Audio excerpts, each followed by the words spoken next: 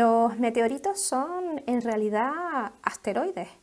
Cuando están eh, fuera de la atmósfera de la Tierra, eh, y si son muy pequeños se les llama meteoroides, pero básicamente un meteorito no es sino un fragmento de un asteroide o un pequeño asteroide en sí, que, ha sobrevivido a la entrada de la atmósfera en la Tierra, eh, ha impactado contra la superficie de la Tierra ya, eh, y ese trozo que queda de ese asteroide que lo, lo recuperamos y lo tenemos en los laboratorios es lo que llamamos un meteorito.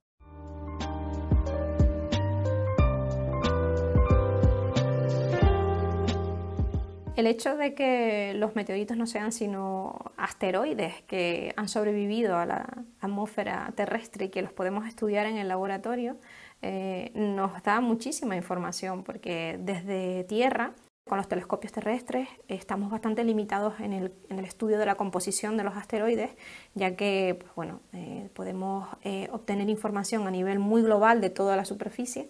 y, tenemos mucha mezcla de información que no somos capaces de, digamos, de resolver o de desentrañar desde tierra con, con los telescopios que tenemos en la actualidad.